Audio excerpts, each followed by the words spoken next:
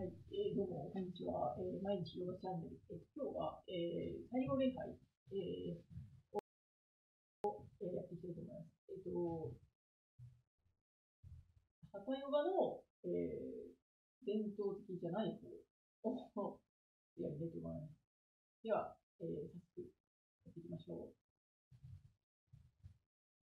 えー、まず、えー、足、えー、足の幅を、えー、一つ分、えー、開けて、えー、マットに、マットの前に立ちます。えー、両腕を上げて、えー、背中を反らします。それで、えー、あ手を、えー、マットの上に持っていって、えー、あ首も、えー、下げます。できれば、えー、足の、えー、膝あたりに首も、あ、首じゃなくて、えっ、ー、と、顎ですね。顎をつけます。それで、えー、右足をマットにの上に、えー、置きます。それで、えー、つま先を、足のつま先を、えー、下に、えー、すみません、後ろに向けて、えー、足、手足を上げます。それで、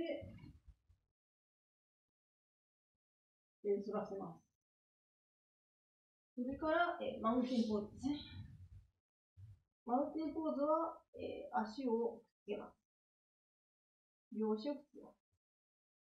それで、えー、次は、えー、コブラに行くんですけども、えー、両両膝を、えー、足の上にくっつけて、えー、顎や、えー、胸も足のマットの、マットの上につけます。それでスライドさせて、えー、頭上にやります。それでまた、安定ポーズですね。次は、えー、両足をマットの前に持っていきます。それで、また、えー、頭を膝につけるように、えー、まあ、前屈ですね。前屈をやって、えー、手を上げて、また背中を反らして、えー、冷ますはい。で、えー、今度は左ですね。えー、また、最初は同じで、えー、背中を反らしてみます。それで、えー、前屈ですね。次は左足を下げて、えー、膝をつけて、えー、つま先を、えー、後ろに向けます。それで、えー、両手を、えー、頭上で合わせて、えー、背中を反らせます。それで、次はマウンテンポーズですね。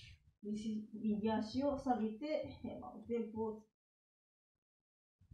で、えー、次はコブラなので、えー、膝を、えー、足、えー、マットの上につけて、えー、顎、胸を上げて、スライドさせて、えー、コブラ。